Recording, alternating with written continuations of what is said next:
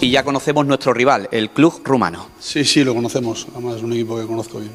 Bueno, es el mejor equipo de Rumanía en los últimos años, sin ninguna duda. Un equipo que, que quiere dar un salto a nivel internacional y ha hecho una buena, una buena inversión en los, últimos, en los últimos años y que ha hecho una fase de grupos donde ha ganado los tres partidos de casa, incluida la Lazio, ganándolos bien contra el Rennes también y contra el Celtic también. O sea, un equipo muy fuerte en casa que encaja muy pocos goles, juega un 4-2-3-1 con, con, jugadores referencia a la selección rumana. En, definitiva, cuando llegue el momento, un equipo que nos va que, que, lógicamente nos va a poner en dificultades y que, y que tenemos que ser capaces de superarlo, por supuesto. Bueno, aquí, aquí, hay una cuestión que es el conocimiento de los clubes que nos suenan un poco más, eh, que siempre parece que, que, pero bueno, por ejemplo, insisto, ha ganado la Lazio, ha ganado al Celtic Glasgow y ha ganado al Rennes, a los tres, a tres equipos de tres buenas ligas y que han hecho buenas temporadas el año pasado en esas ligas.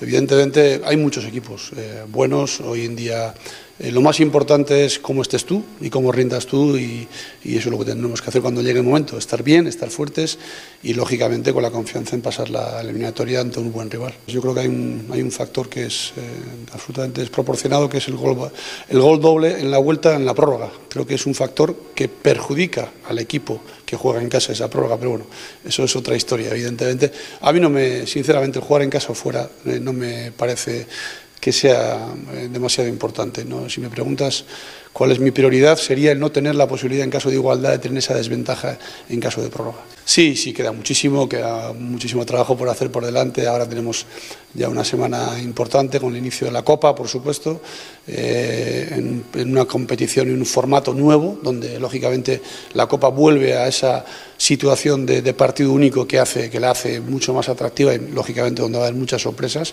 y donde trataremos de no ser una de las sorpresas haciendo un buen partido ante, ante el Bergantiños y luego lógicamente jugando el último partido de este, de este año de Liga en el que queremos por supuesto conseguir los tres puntos.